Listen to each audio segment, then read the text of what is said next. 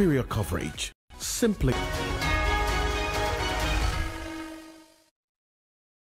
Well, it's a rainy, wet night. Good evening to you. Welcome. This is Ghana Tonight. We are live from News Up at Desawe Kanda, also live on TV3 Ghana on Facebook, channel 279, all across the world on 3news.com. Tonight, the impact of Ghana's energy sector woes on livelihoods could be more dire than you can imagine because even the World Bank has taken notice of the devastation of Dumsor and which is causing businesses and social lives in Ghana. We have a conversation and we're asking you what your Dumsor situation is tonight. And we already got notice a number of areas are off because of the rains, heavy rains earlier today, uh, leading into most parts of the night. So stay with us. We have a conversation. The Ghana cedi continues to crumble. With no end in sight, that's a question we're asking, putting a strain on businesses and individuals alike. We ask what can be done to rescue the cedi from its continuous depreciation. We have a conversation. Professor Peter Quartey is our guest together with Mark Badu-Aboagye with the Ghana National Chamber of Commerce and Industry. We have a conversation tonight. The Speaker of Parliament has been petitioned to institute a bipartisan probe into what anti-corruption crusaders say are the inactions of the Economic and Organized Crime Office, EOCO, and the Attorney General's Department in the Cecilia Dapaah stolen cash saga. One of the petitioners is former Auditor General Daniel Yaw Domelevo. He is our guest tonight. Daniel Domelevo speaks to us here on Ghana Tonight on this matter. As always, you're an integral part of the conversation. Let's hear from you. The hashtag we're using is Ghana Tonight on Facebook and X. Let's get talking.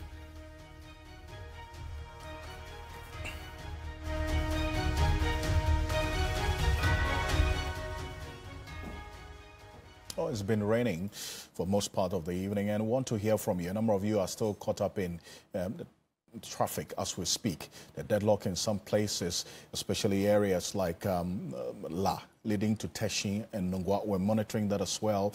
And those of you heading towards the West Hills area as well, we're heading towards that place as well. But let's hear from you. Um, and, and, share your thoughts with us. The hashtag we're using is Ghana Tonight on Facebook and X. We're asking a number of questions there. Share your situation with us where you are, and then also what's happening with the Dumsor. Let's hear from you as well on that one. So let's get talking tonight. Let's settle for Ghana Briefs.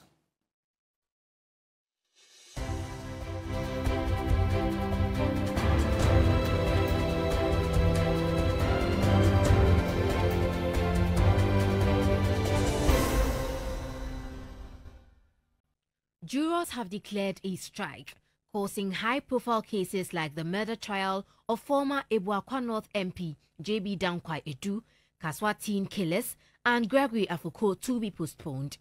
They insist that the continuous delay in the payment of their 10-month allowance will result in their indefinite absence from the court premises.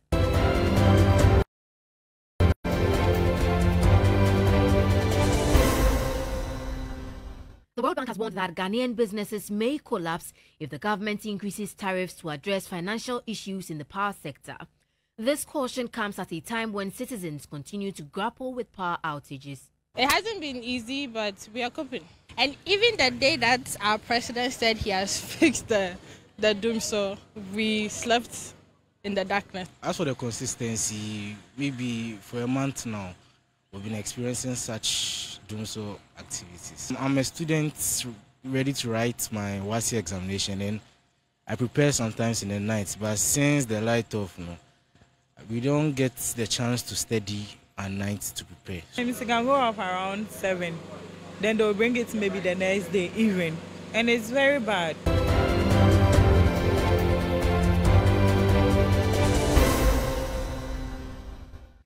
The opposition National Democratic Congress is calling for a non-partisan parliamentary probe into the missing biometric verification registration devices, a move it believes will enhance transparency ahead of the December 7 polls. Addressing a news conference in Accra, the party urged Ghanaians to monitor the activities of the Electoral Commission to ensure free, fair, and transparent elections. The EC might be testing the waters with their rigging strategy by deliberately misrepresenting and miscalculating registration figures. Our prompt detection and exposure of these egregious errors should serve as a clear warning to the EC about the vigilance of the NDC. We are fully prepared to safeguard the sanctity of the coming elections. We expect the EC to now firmly renounce any intention, if it exists, to collude with the failed NPP government to rig the elections.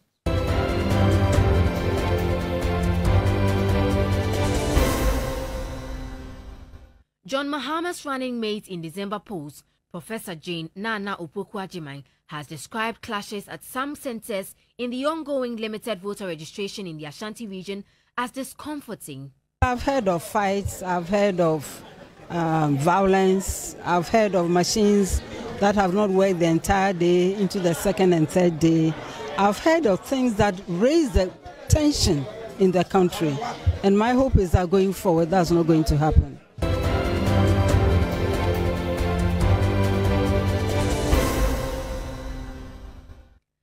Five environmental organizations have served notice to sue government over reclassification of some of Ghana's forest reserves to allow for mining and timber lumbering.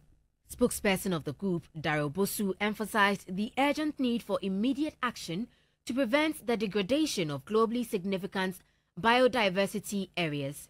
Government has started giving out administrative instructions to the Forestry Commission to start opening up protected forests, which we call the globally significant biodiversity areas, for logging activities. And this we think are illegal and needs to be done the right way. I mean, some of these forest reserves are set up for the purpose of providing us with um, ecosystem services like water supply, good air to breathe, and also biodiversity, which is very crucial for pollination and for food security issues. So before you take such action, you really need to ensure that you follow due process.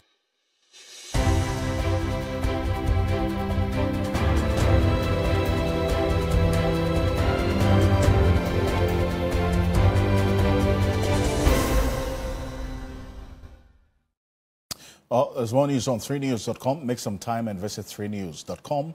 This is Ghana Tonight. Coming up next, the Speaker of Parliament has been petitioned to institute a bipartisan probe into what anti-corruption crusaders say uh, the inactions of the Economic and Organized Crime Office, EOCO, and the Attorney General in the Cecilia Dapaah stolen cash saga.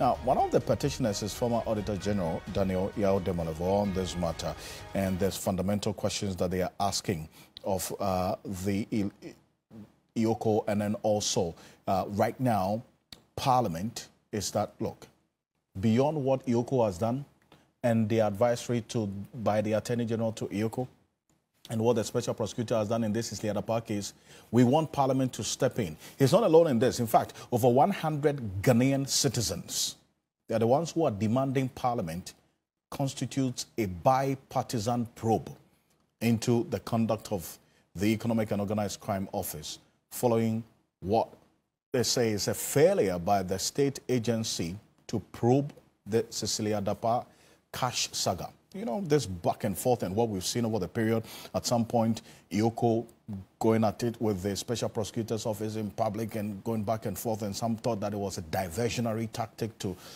actually take our attention off the real issue, establishing the source of the money found in Cecilia Dapaah's home. The petitioners include Daniel Yaw Domelevo, who is going to be joining us shortly, former Auditor General, legal practitioner uh, Martin Kpebu, and political science professor at the University of Ghana, Legon, Professor Ransford Gyampo.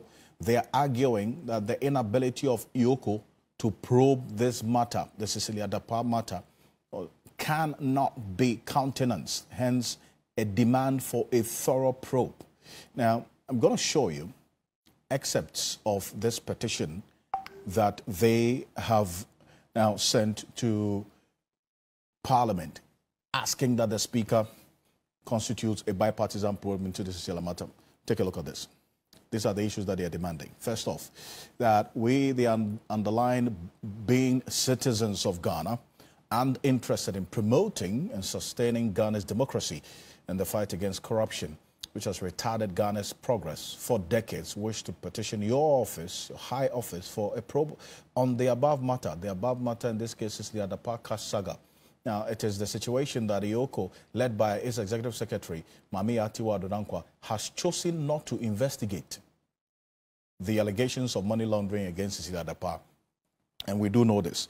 And this is as a result of that advisory from the Attorney General. Says, you know what, EOCO, don't waste your time on investigating this money laundering issue. EOCO claimed that they cannot comprehend the basis of the OSP's opinion that Madame Dapaah, former Minister for Sanitation, Water Resources, and her husband were potentially involved in money laundering regarding the substantial sums of cash discovered in their residence and in various bank accounts. It is evident and clear that with ample evidence available, accompanied by a docket that contains over 20 witness statements, it is highly doubtful that EOCO cannot comprehend the details of the docket. Another salient fact that should help is the EOCO statement that they released asserting that EOCO had returned the docket to the OSP on 3rd May 2023. That's, that's the 3rd of May 2024. It has to be. Now, however, a few days later, when Madame Addo-Danquah was interviewed on the matter, she, among others, stated that she was about to send the docket to the OSP, meaning the press release was false. This is another fact that calls for a probe because it suggests a deliberate attempt to cover up the crime that has been committed in this case. They continue that it's also instructive that on Saturday, 4th May 2024, the Attorney General stated on radio, specifically Joy FM, that EOCO had finished its investigations into the matter, which directly contradicts a statement in the Attorney General's representative's letter to EOCO that investigations was yet to commence. So these are all the contradictions and some of the references that these over a hundred citizens of this republic are pointing to, reason why they want Parliament to step into it. Now, Daniel Yaw Domelevo is former Auditor General of the Republic of Ghana. Um, he's connecting with us outside of the country. Thank you so much for joining us here, Daniel Yaw Domelevo, here on Ghana Tonight. First of all, these are just pointers to some of the demands that you're making, but what exactly do you want beyond this Parliament to do with this probe? Well, uh, thank you for the opportunity. Let me say that these are all avenues available for us to seek redress. So you can go to court, you can go to EOCO, you can go to Parliament. And it is my considered view that Parliament has this oversight responsibility over the state institutions. So that is why we have asked Parliament to look into the case and tell us what exactly is the reason behind the apparent refusal of EOCO to investigate uh, the allegation or the offense. Because uh, we want to know the story behind the story mm. uh, of EOCO. If you say you want to know the story behind the story, is that to say that EOCO's story that they they looked into it and based on the attorney general's advisory they're not going to waste their time on investigating Cecilia Dapaah on this money laundering because in their view to the extent that the OSP did not give them the the details of their own investigation they, they cannot proceed. That story you say eh, cannot be believed? It is not true it cannot be believed? It's not the case? Honestly, the story is not believable. If you have been following EOCO, EOCO is one institution which in the past has even been quick at investigating uh, offenses which fall outside their mandate. But now, what falls squarely within their mandate, they are even refusing to investigate. So I think if Parliament calls them, we would like to know whether it is because of the president's prophecy, which says that at the end of the investigations, uh, Honorable Cecilia Abena Dapaah, his her integrity or her reputation will be fully restored, or is because Section 1, Subsection 3 provides that in the course of investigating money laundering offense, if the person being investigated has in his or her possession property which the person cannot account for, and cannot be reasonably attributed to his or her source of income, then the person is guilty of money laundering, mm. or it is both. We don't know. In fact, we want to get the story behind the story of Honorable Cecilia. I see. And the main reasons why EOCO should refuse to do mm. uh, the investigation. So, so the, the argument is that EOCO had more than enough basis to even proceed with some investigation into this Cecilia Dapaah cash saga. Is it not? Exactly. If you recall, let me give you two instances. If you recall, when I was in office, a frivolous allegation was made against me for breaches in procurement processes. And whilst, whereas it did not fall within the mandate of EOCO, they took it upon themselves to investigate. I have to go to the court and use the high court to stop them. That judgment is available, Auditor General versus EOCO. So uh, it took a high court to stop them to say that they are acting illegally, so they should stop before they stop. Recently, Professor Stephen Adei made some allegations against, I think, the road ministry. And corruption does not fall within the mandate of EOCO. They quickly went in and investigated and told us at the end that they have cleared the road ministry. So why, what will stop them from investigating an offense which rather falls squarely within their mandate? It gives us a cause to worry.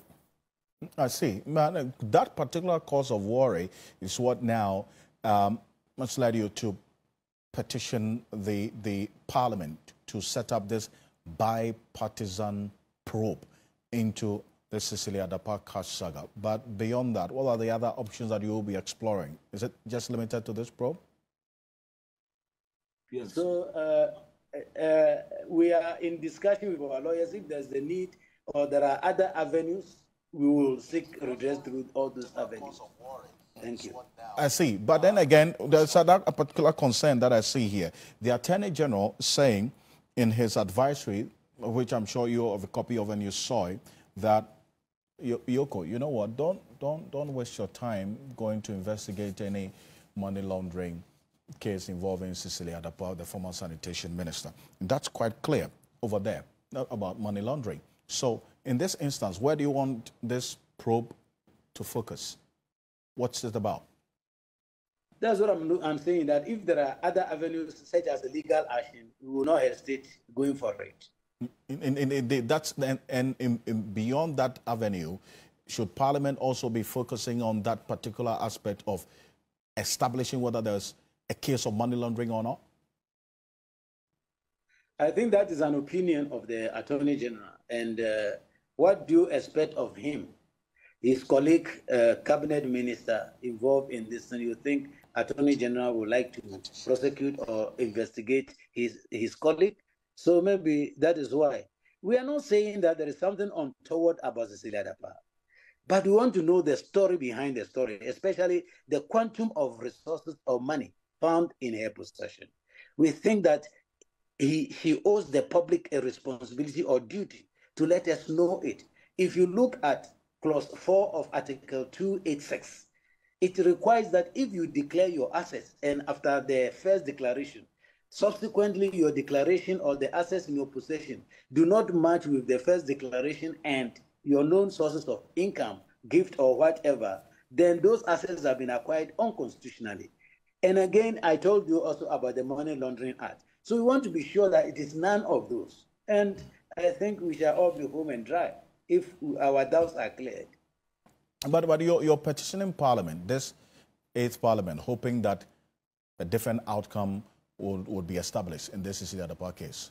Now, bearing in mind that this is this eighth parliament, even though it's, it's a hang parliament, it's, a, it's proven to be a very partisan parliament, where even though it is a hang parliament, we've seen instances where even a bipartisan probe has been established. I mean, you look at what happened in the case of the, the former finance minister, Kenneth Ofori-Atta, and, and so on, and, and what happened. Does that concern you, that the bipartisan nature of this hang parliament may not help you to achieve that objective of having Parliament probe this matter even in the first place? Uh, thank you very much. Many people have raised those observations, but I think our civil responsibility is to take the issue to Parliament. It is now it lies on Parliament to discharge their duties as they deem it fit. If they decide to do it in a partisan manner, fine. If they want to do it in a bipartisan manner, fine. If they put the interests of Ghana first, we will be very grateful. Thank you. I see. But do you see any real appetite, the appetite to pursue this matter and establish, for instance, the basic question of the source of these monies that were identified with Cecilia Dapaah in her home, the ones that were stolen and, and so on. Just that fundamental question. Do you see that appetite to even help establish the answer to it?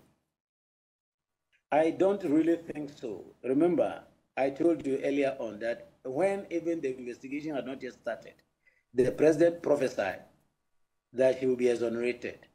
And these institutions are all under the presidency. So it is not a surprise that they are not willing or they don't have seem to have the appetite of doing the investigation.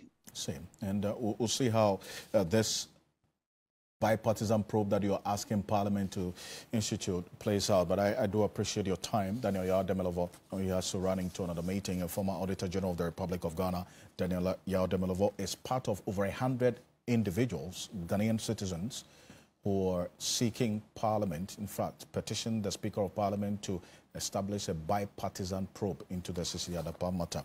We'll see how things play out on this one here on Ghana Tonight. But coming up next, the impact of Ghana's energy sector woes on livelihoods could be dire than you can imagine because even the World Bank has taken notice of the devastation of Dumsor and its impact on businesses and social lives in Ghana. And look, we, we're not going to look beyond our individual lives, you know, because we are all living examples of how this erratic power outage is impacting on our lives individually and on, on our businesses as well in many, many ways. Now, the World Bank has observed that Ghanaian businesses and individuals may have issues. In fact, the businesses may collapse if government increases issues with tariffs to address financial issues in the power sector. Recall that there's been suggestions that tariffs should be increased as a way of you know, dealing with this power sector issues. Now, this is part of an overall assessment of Ghana's energy sector, which the World Bank finds to be facing a mirage of challenges. Now, coincidentally, the report comes at a time citizens continue to grapple with power outages. I'm going to show you highlights of this May 2024 report on the country's energy sector, as you see there the causes for this power crisis, the World Bank has diagnosed, which we, we're living right now in it, shortfall in energy sector finances, low revenue collection rate, below cost tariffs, system losses, gas supply challenges. And I'm sure that when this matter of even increasing tariffs comes up, you're asking yourself whether what the power you're paying for, if you're actually enjoying it. The impact, according to the World Bank, is that the reliance on alternative power supply systems, and says a number of us are now relying on candles, flashlights, lanterns, inverters, generators. And this is a diagnosis of the power sector problems over a number of years, right from 2012 to now, and the situation is just replaying itself almost the same way. Caution the hike in tariffs could cause businesses to lay off workers. That is the World Bank's caution. Don't consider even increasing tariffs any further. The recommendation is that there should be upgrade of transmission lines, improve revenue collection, reduce system losses as well. These are issues that many many um, energy experts and, and also other persons have been talking about over the period and hoping that there's been going to be some responses to it to be able to ensure that at least we have a solution to this matter. And this is one thing that is not coming at a time when even the businesses don't know about it. We've been showing you continuously over the period a number of you who are business owners who have had to resort to other means of staying in business and even the generators that you're having to use to power your lights to stay in business, the fuel to power these generators have also gone up in price. So the cost of doing business is increasing on a daily basis. Dr. Mark Badu-Aboagye is Chief Executive Officer of the Ghana Chamber of Commerce and Industry.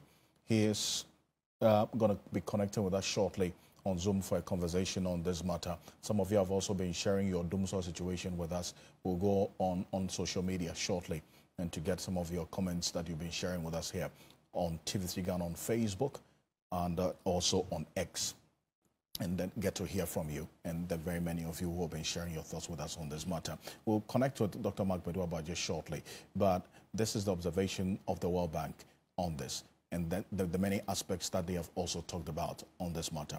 We'll get to him, but let's go straight into the issues of the cedi and the, and, and the dollar relationship coming up next here on Ghana Tonight and matters are rising right now. We'll tell you the Ghana cedi continues to crumble with no ending sight, uh, putting a strain on businesses and individuals alike. We ask what can be done to rescue the cedi from its continuous depreciation. Have a conversation tonight. Well, guess what? Situation not looking too good for the cedi. This week, for the last one week at least, there's been this widespread concern about the depreciation of the cedi in recent times. The minority in parliament, Guta, other well-meaning Ghanaians have impressed upon government to take steps to arrest the cedi. But it remains to be seen what the government is doing. As of May 16, that this dollar was equivalent to 14 cedis, 60 pesewas.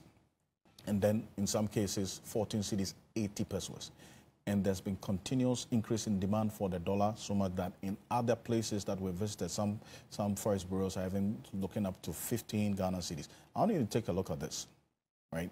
It gives you a certain, a certain trend. And this week, when we went to the forex bureaus, one of the operators gave us an idea of what's been happening to the cedi over the period. Take a look. The rate is not going down. It's just going up. We don't know what's going on. The Bank of Ghana rate is usually a little bit lower than our rate. I think that's the rate they use to trade between the banks. But for us, it's our rates are always higher. Usually, when you compare our buying and selling rate to the Bank of Ghana, sometimes even our buying rate is higher than their selling rate.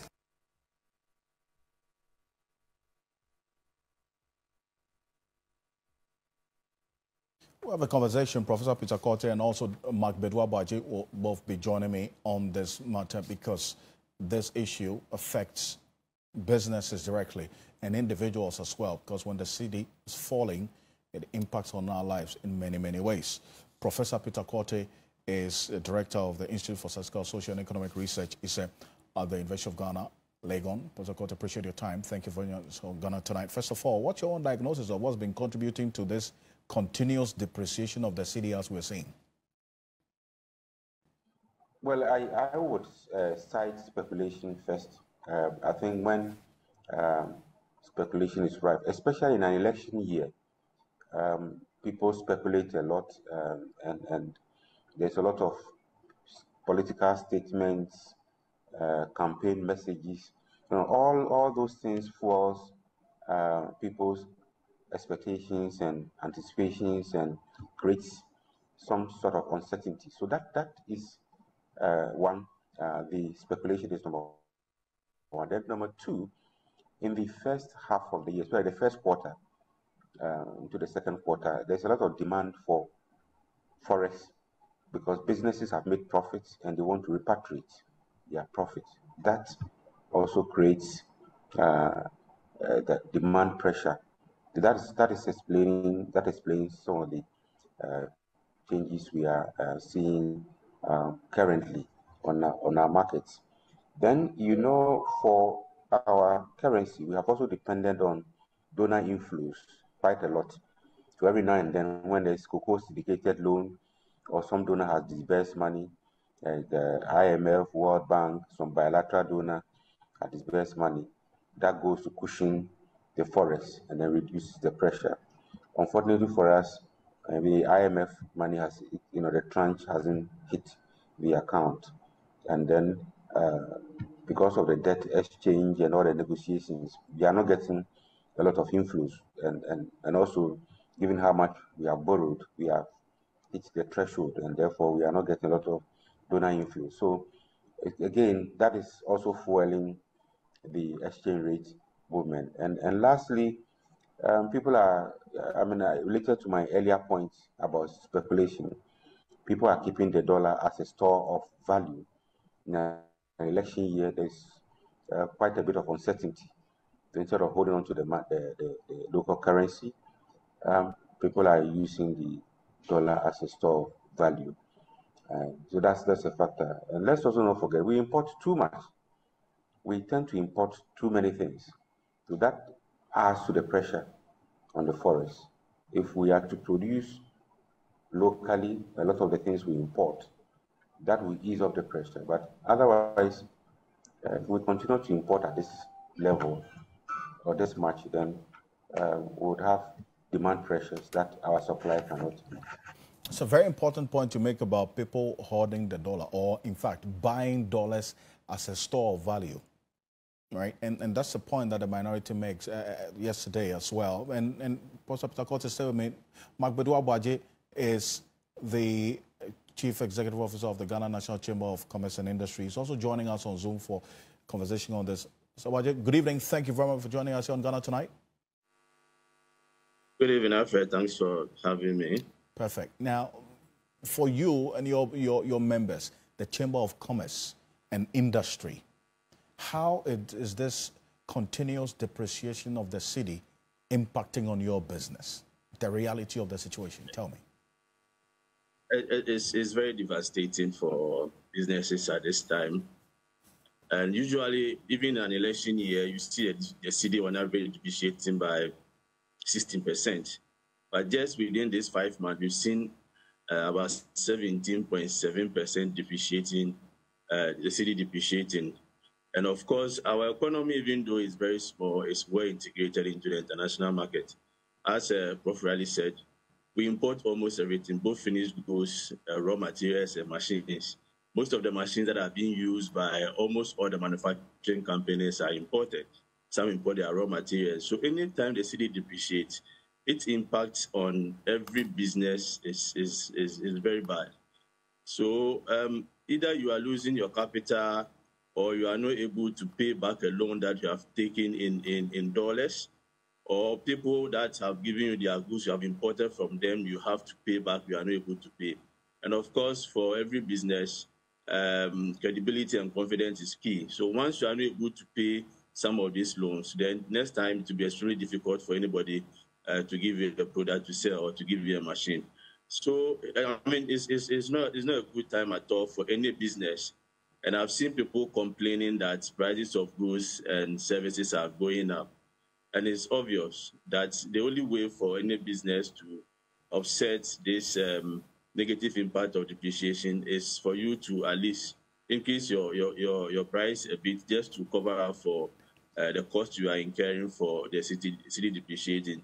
But businesses, the rate at which the cedi is depreciating, the rate at which cost of production is going up, they cannot transfer this uh, cost to uh, uh, consumers. So if they are to even be able to transfer even just 80 to 90 percent, the prices that we are seeing now may be far higher than, than what is in the market. So I think the earlier we do something about it, the better. We, we, we are not happy with what is going on. We have expressed concern, but uh, nothing seems to be done. I don't know whether we have limited options, policy options to be able to resolve uh, the issues. Prof enumerated a number of things that are, for me, are causing the depreciating. And some may be short term, others may be long term. The immediate one is what we have to resolve. I mean, as part of the IMF um, uh, conditionalities, the central bank is supposed to build reserve.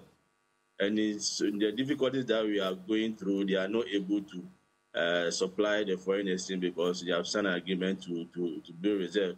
The other bit also has to do with the government trying to pay for the uh, the IPPs, and uh, that is the only way. Otherwise, we also have uh, find ourselves in the doom so uh, that we are we are we are we are experiencing now. So for me, uh, and as you said, the cedi basically has lost one of its key functions as a store of value.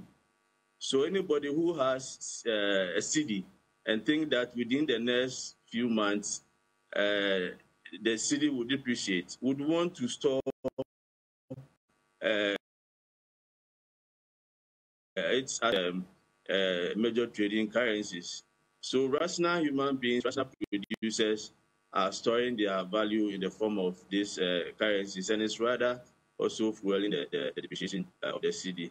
So I, I, think it's a difficult situation. It may be short term, but if you are not careful, by the time uh, we are out of this uh, rapid depreciation, most businesses will either collapse or they will run at a loss. And, and that's the reality that you're faced with. It's a reality check that if nothing yes. is done immediately, by, by the time, whatever time we get out of this, most of the businesses we have in this country would collapse. And that means that that's going to lead to more people being laid off, obviously losing their jobs if the, these businesses collapse. And, and, and that's where the concern is, Professor Peter Quartey. And we're just going to put a bar graph on the screen right now. It shows the average continuous depreciation of the cedi from the beginning of the year, January to date. Take a look at this. In January, the cedi was trading at 12 cedis 30 pesewas to the dollar. Then in February, 12 cedis 60 pesewas to the dollar. In March, 13 cedis 20 pesewas to the dollar. Then in April, 13 cedis 70 pesewas to the dollar. Now, at least on the average, we're seeing between 14 cedis 50 pesewas to, in some cases, 15 cedis to the dollar as we speak. Professor Peter Quartey, I mean, you would have expected that the, for instance, the IMF second tranche, the $600 million that came in on the 23rd of, of January this year, plus the World Bank money that's coming already, 300 million, and then also the syndicated loan, all of these would have at least strengthened or helped the cedi gain some sustainability against the dollar over this period. But that injection of the dollar with, from all of these sources did not lead to at least a sustained strength of the cedi. Why is that? Yeah, it, it, it did to some extent. You, you, I mean, if you look at the past month or so, uh, the depreciation has been uh, relatively ma managed. Uh, but then, I mean, as I said, it's a continuous flow, demand and supply. So uh, once we exhaust what is in, um, and there's no new monies coming in, uh, given the high demand pressure, it certainly will lead to some upward movement. And this, this year is different compared to previous the previous year. This year is an election year, so there is a lot of uncertainty on people's minds, and and therefore, the, the instead of trading the foreign currency, some will hold onto what they have, or even buy and store uh, for instance, uh, uh, the dollar as keep it as a stock value. So all of this come to play in explaining, explaining the uh, turbulence we are seeing. But I, I, I think in the next uh, couple of uh, weeks, once the IMF money flows in and we are able to conclude on the um, negotiations, I, um, I believe there will be some sanity or stability in the system. Of course, with Bank of Ghana's support, given the way they manage the supply in the system. I, say, but Mr. Aboagye, but you're talking about the beyond the long-term measures, medium to long-term measures Professor Peter Quartey talks about. Something needs to be done immediately to rescue the cedi. What, what should be done? I mean, you're the businesses. You're neck deep into the impact of this cedi depreciation. What should be done? Well, I, I think Prof has um, given us the solution, the immediate solution, because we, for the for the short term, we don't have any um, uh, anything to do than to wait and, and, and expect those monies that are, are coming from the World Bank and the IMF uh, uh, uh, to flow in. If you if you look at the the previous year, where we were getting these foreign reserves, actually didn't do well obviously the cocoa uh, money that we were expecting uh, didn't come in as we, as we usually do. That goes a long way to improve our reserves. So if there are shortages, the, the central bank can just uh, pump in a bit of money to stabilize the situation. So now we, we, we patiently have to wait uh, till such monies come in. But whilst we are doing that, we also have to encourage or plead with those who are uh, buying the, the, dollar that they don't need immediately, they are storing, to also consider the overall impact of what they are doing on the economy, even though they may gain as individuals or as businesses. But the overall impact is, is, is not good. It's very devastating for all of us. So if you don't need the money immediately, uh, we will ask that you you don't buy it. And those who have, I mean, keeping monies in their boxes and also in their houses, those monies are not within the financial system. So they are not uh, increasing the supply of uh, foreign currency in the economy. So people need the money, but others have it under their beds, in their boxes, and they are not um, circulating. So they will not get it even to buy uh, to, to reduce the pressure on the cedi. So immediately, this is what, what we have to do. I don't know um, with the independent power producers, now they're also on the neck of the government to also be able to pay them their monies that we have not paid for a long time. And those monies are very huge. And per the conversation that we've heard, if they don't pay, it means that we are all not going to get electricity. So they are also on the on the on the government. So I think we should get a fine balance looking at the total impact of this uh, depreciation on the on the currency. I agree that we are not um, exporting more, but if you look at data in recent times, you realize that our um, trade balance is in surplus, which means that we are doing well in terms of uh, the trade balance. What the issue is that most of the companies that are exporting are foreign-owned companies. So they export, they get a dollar, but they retain the dollar in wherever in their in their foreign countries. So we don't get a dollar here.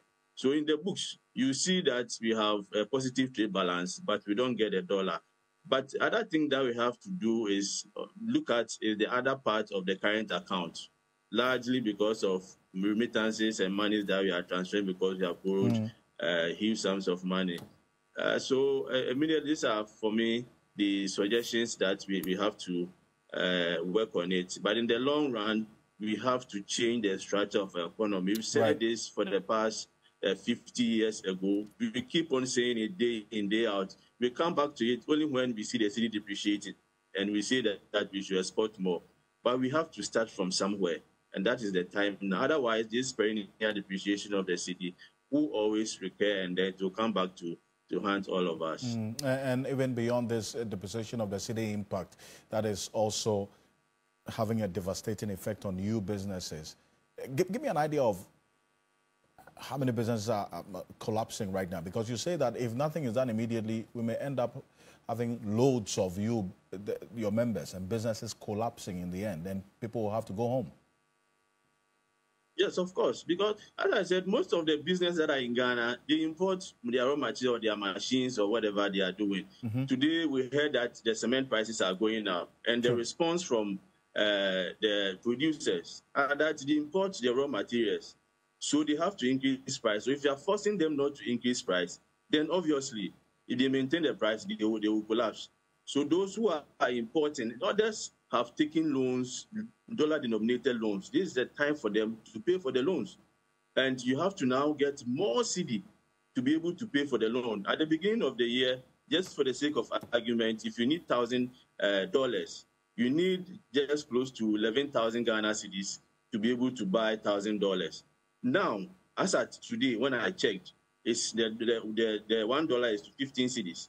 So the same thousand dollar, nothing has changed. The same thousand dollars that you need to be able to either import something or pay for the loan that you have taken, you need fifteen thousand Ghana cedis. Now the economy in itself is, is, is struggling. People are not buying the goods that are being produced because of inflation. Purchasing power had gone down. Inflation itself is a tax and there are a whole lot of taxes that businesses are grappling with. So the businesses are not making the profit, they are not making the money. Now, when they want to pay the loans, they need more cedi to be able to pay the same amount of dollar denominated loan that they have to pay. If they want to import, they need more cedi to be able to do that. So most of the businesses that are, are largely importing are, are, are not doing well. And as I said, you cannot transfer 100% of your cost of production to the consumer. They don't even have the money to buy. So either you balance it, you are waiting for them to be able to purchase. So a bit of it, and also looking at the elasticity of that particular product, you tend to send some of the cost to uh, uh, to consumers. So eh, on on the whole, most of the business that have dollar-related issues, and even the local ones that we have, right. they have to buy for those who are importing. And once the prices go up, they need more cedis to be able to do that. So Absolutely.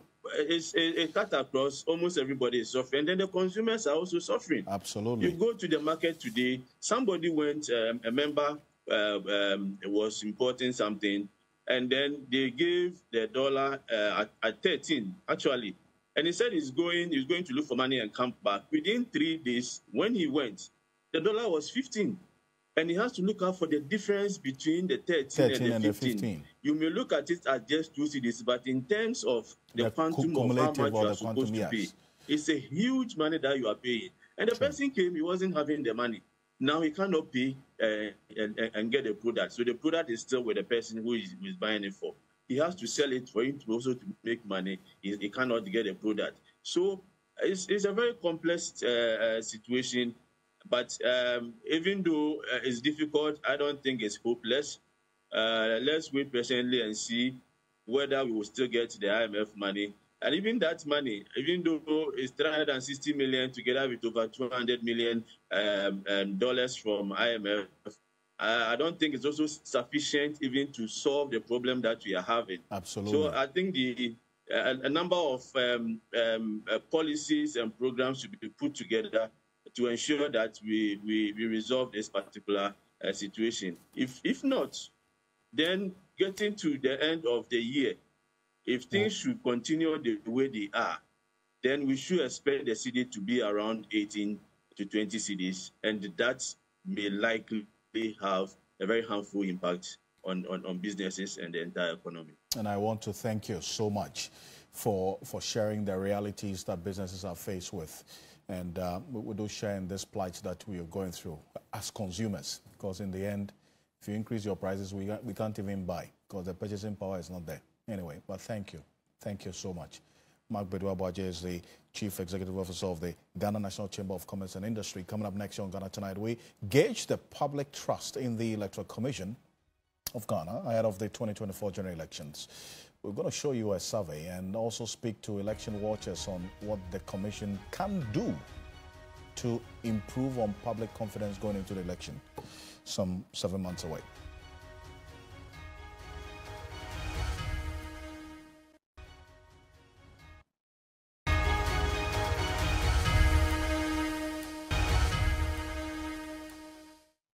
Welcome back. This is Ghana Tonight. We're live on TV3 Ghana on Facebook, DSTV channel 279, all across the world on 3news.com. As your election command center, we're building up to the 2024 presidential and parliamentary elections strongly. And our focus tonight is public trust in the Electoral Commission of Ghana. We asked you to join us on social media. And if you've been monitoring Ghana Tonight, we start the conversation three hours before the show begins on Facebook, on X as well, X Spaces. So, do you have any reason why you cannot trust the Electoral Commission to deliver a credible election? That's a question that we asked. A number of you shared your thoughts with us. Now, we're going to come to your comments later, but here's an Afrobarometer survey tracking public trust in the Electoral Commission over a period of time. The Afrobarometer survey is uh, conducted by the Center for Democratic Development, CDD, and if you do the, the computation and also taking one after the other over the last at least nine rounds of Afrobarometer surveys, this is what we found. And the Democracy Project also put out the selective analysis of it. We're going to show it to you shortly. Dr. John Osae is going to be joining us on Zoom for a quick conversation on this matter. And we'll show you what the the outcome of this Afrobarometer survey, the cumulative results over the last nine rounds looks like. Dr. John Osae appreciate your time. Thank you very much for joining us here on Ghana Tonight. First of all, as we're seeing with, with this survey over the period, what's the, what's the message in there, Dr. Kwapong? Yeah, thank you, Alfred. So if you look at the tracker, uh, which looks at Afrobarometer over nine rounds, going all the way back to 1999, um, there, there are three key things that you would notice from the tracker. One, um, that the partisan gaps in trust in the Electoral Commission is nothing new. Um, it just that over time, it looks like it has intensified. So one, the phenomenon is nothing new. Two, what the tracker is also showing is that when um, when a voter's preferred political party is in power, they tend to trust the electoral commission a lot more than when their preferred political party uh, is in opposition. So that's why you also see in the tracker that, for example, in survey rounds uh, 2020, 2002 or 2005, for example, you see those who identify themselves um, as NPP um, having a lot more trust in the Electoral Commission than um, those who identify themselves as NDC. If you flip it and you look at, um, let's say, survey round 2014 or 2012, you would see that voters who identify themselves as NDC have slightly more trust in the Electoral Commission than those who identify themselves as uh, NPP. So that's the second observation, right? That in power, partisans tend to trust um, the EC a lot more than um, you know, uh, when they are in opposition in terms of their voters and their supporters. And then the last key point is that if you look at the most recent round in 2022, you will then notice that we are going into an election where voters who identify themselves more with the ruling party have more trust in the Electoral Commission than those who identify themselves with Ghana's main opposition party. So those are the three key um, observations from the tracker that I uh, I just developed based on data from the Afrobarometer survey. Data from the Afrobarometer survey. Let's put that back on the screen. Now it tracks what happened at least from 2014, 2017, 2019, 2022. Let's go back in, in into time and, and flip to the next. You see that at least in, in 2014, based on this, you asked the question trust for the Electoral Commission. 62% of the respondents in 2014 said they trust the Electoral Commission. That period, the NDC was in power. You, 18% of eh, persons, NPP partisan respondents said they, they trust the Electoral Commission. Fast forward to 2017, 57% of the NDC respondents, 56%. What's the message in there? Because, I mean, after 2016, NDC lost the election. But you see at, at least 57% of the respondents, even more than the NPP respondents, saying that they trust the Electoral Commission. What's the catch in there? So what you notice is that so for the first six rounds, it's all the Afari-Gyan era. So why the reason you would see that extreme low percent in 2014 for those who identify themselves with NPP, if you think back, this was coming at the back of the 2012 election. Um, and you know a year of the election petition, some of the challenges that were observed with the with, with the voting processes, um, some of the questions that it sort of the televised um, the, the, the televised uh, petition sort of raised uh, or at least exposed to us about some of the EC's processes, um, but also the fact that um, the NPP disputed the 2012 election. So it comes at no surprise that in 2014, Afari-Gyan was still around, and therefore trust in the EC for them was uh, was was that very low. So that's that's what explains that 20 uh, that 2014 gap. But the other interesting thing is if you look at 2017, um, which was the Madame Charlotte Osei era, you mm-hmm. notice that there's no, yeah, um, there's really no difference between the two sets of partisans when it comes to their level of trust in mm-hmm. the EC. That's the only exception, right? That right. it's just like a one point difference. So it really makes no difference. And I suspect that part of that is, in hindsight, the way the 2016 election went, its outcome uh, Right, and, and that's exactly what it points to. And I want to say thank you very much. And this is one that we're doing um, the survey over the next three to four days, gauging public trust for the Electoral Commission. So we'll be engaging a lot more as we go on. Thank you so much for joining us here. Dr. John Osae-Kwapong is the uh, Center for Democratic Development Fellow in Democracy and Development, also Executive Director of the Democracy Project. Thank you for joining us here on Ghana Tonight. On behalf of the rest of the team, we do appreciate your company. There's more news on 3news.com. My name is Alfred Ocansey. Have a good night.